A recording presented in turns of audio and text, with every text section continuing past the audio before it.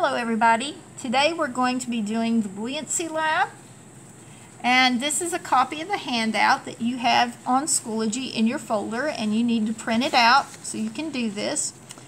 Now, what we're going to be doing is looking at the buoyancy of various ob objects, the buoyant force that acts on it, and whether they sink or float. Then, of course, as you can see on the data table, there's a list of the objects that we're going to be using. And I have already taken a Newton scale and measured the weight of each of those objects in air. I just thought that would save some, some time for all of us if I went ahead and did that. And I'll show you what it looks like in a minute because we have to use the same Newton scale to measure the weight of the object when it's in the water, okay? Because if you know the weight in air and you know the weight in water, the weight in the water should be less than the weight in the air because of the buoyant force acting from the water. So if we subtract the weight of the um, uh, object in the water from the, its weight in the air, the difference will be the amount of buoyant force exerted on the object by the water. Okay? So, if you'll pause it for a minute and just write down those weights of each object in air, just as, they as they're shown, then we'll get started. Okay? So you can pause it now and write them down. Okay, now, we're going to first make predictions about what we think of each of the objects and what will happen when they're placed in the water. Will they sink or will they float? So I'm going to show you each object and you decide and write it down. Now, it doesn't matter if you're right or wrong at all on this, okay? So you put down what you think, all right? Then we'll look at the actual um, uh, observation of whether it sinks or floats and see if we were right or wrong. It doesn't matter if we were right or wrong, it's what we learned from it, okay? So let's take a look at the objects. All right, the first object I have is a cork stopper. And you all have seen cork before. So this is just a cork stopper that you'd use in a flask or a bottle. All right. The second object is a rock. So I found a rock and tied a string on it so we could weigh it and stuff. And uh, we'll be putting that in the water. And then we have a plastic cube. It's just a cube of plastic, okay? Just ordinary plastic, kind of boring. And I'll put that, make a line out of them. Then we have the steel cube. Here it is. This is a steel cube. All right. It's kind of heavy. Yeah, you can tell. It's kind of heavy. All right. And next we have a wooden cube. Not, not very heavy at all. Okay, a wooden cube. And we have a piece of styrofoam. This is a styrofoam ball. All right. And if you look close, you can see the white of the styrofoam poking through the, the black paint that's on it. And then we also have a rubber stopper, again, like you would use in a flask or a bottle, just an ordinary rubber stopper.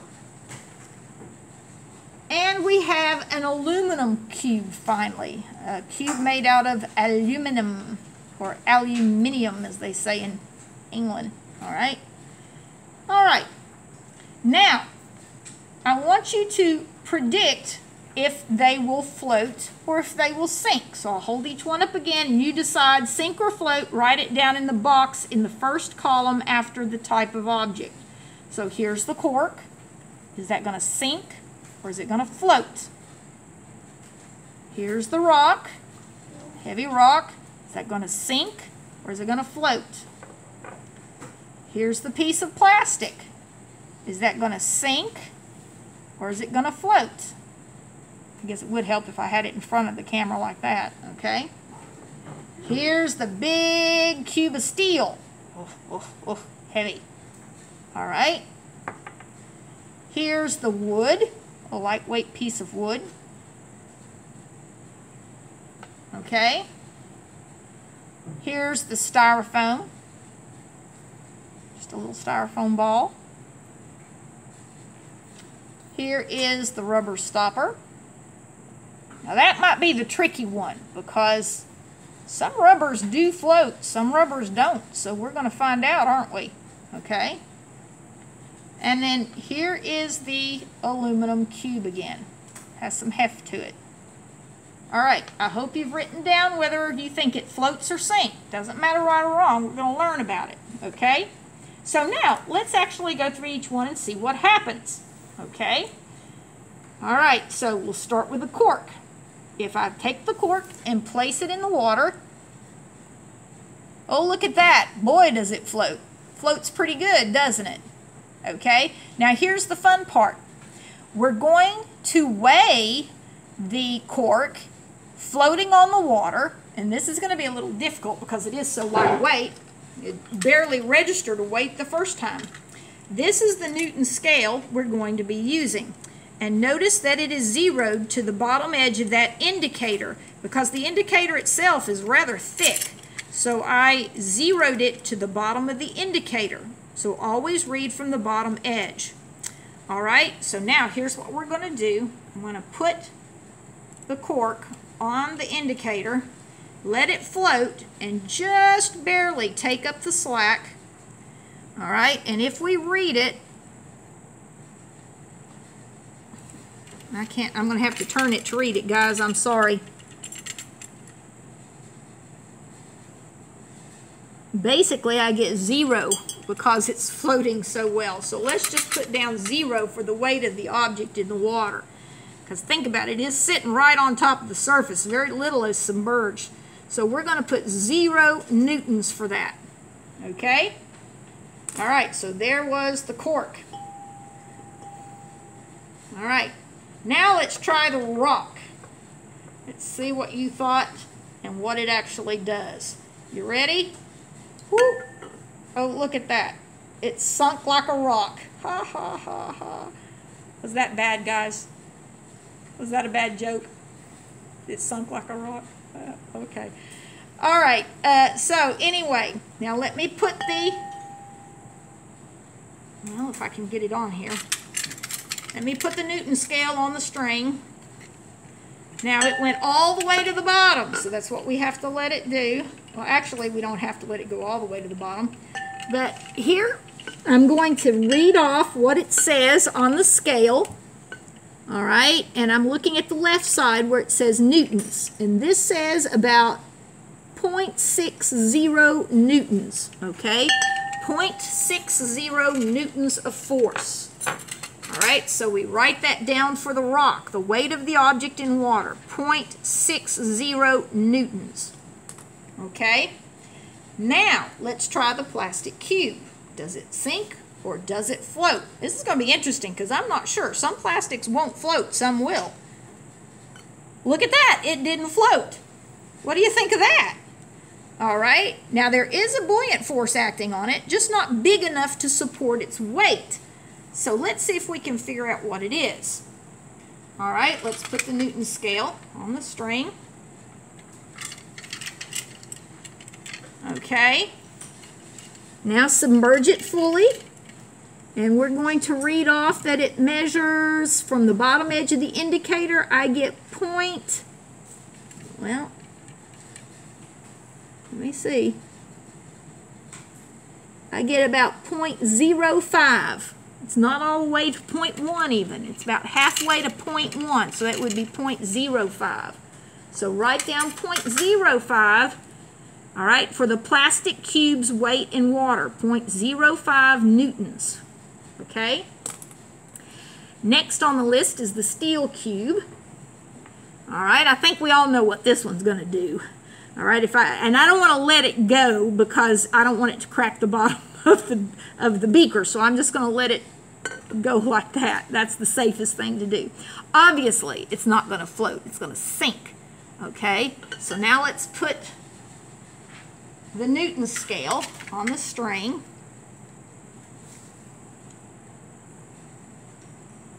Well, thought I had it. There it goes. Okay, and submerge it in the water. And we'll see what its weight is in the water. Okay, with the buoyant force acting on it, its weight appears to be about 1.2 newtons. All right, 1.2 newtons. All right, so let's take that out and we'll write down on our papers for the steel, we're going to write down 1.20 newtons because it didn't look like it went past the 0.2 mark at all. So there is some buoyant force there, just not a lot. It just can't support the weight of it. Okay. Now, the next one is the wooden cube. This is going to be interesting. Let's see what happens here. You ready? Oh, look at that. It floats. How about that? How many of you predicted that? Okay. So now we're going to take the scale and see what its weight when it's floating is. So that hopefully we can determine the buoyant force acting on it. All right, hang on. I'm trying to get the string separated so I can put it through this loop. There we go. All right, so now we set it down in there and we just take up the tension just enough to get a measure of the weight while it's floating. Okay, and I'm getting about point, oh, it won't stay still very well. I'm getting about 0.07, 0.07. It's not quite to 0.1, but it's, uh, it looks like it's about 0.07, 0.07 newtons. So there is quite a bit of buoyant force acting on that little block. All right, next is the styrofoam ball. What do you think? Oh, looky there. Yep, it floats. All right, so let's get the hook in there. Well, see if I can hook it. Yeah, there we go. All right, now we don't want to pull it up out of the water. We just want to pull up enough to put some tension in the string and still have it floating on the water. Okay, now this one may not read anything at all because I tell you, it barely has any weight outside of the water. And I'm getting basically about, I'm getting about 0.03, 0.03. It's not even halfway to 0.1. So everybody put down 0.03 newtons for the weight of the styrofoam in water. Two more left. Rubber stopper. Ooh, now this is the one I've been waiting for. Will it float or won't it? Some rubber will float. Um, some won't. It, uh, it just depends on the kind of rubber it is, the density. So let's see. Nope, not this one not this one. All right, so let's put let's put it on the spring scale now. If I can get the string loop to separate. There we go. Alrighty. Okay, so as it's submerged, if we read it off, Oh, it looks to me like it's saying 0.1 right on the nose. Look at that.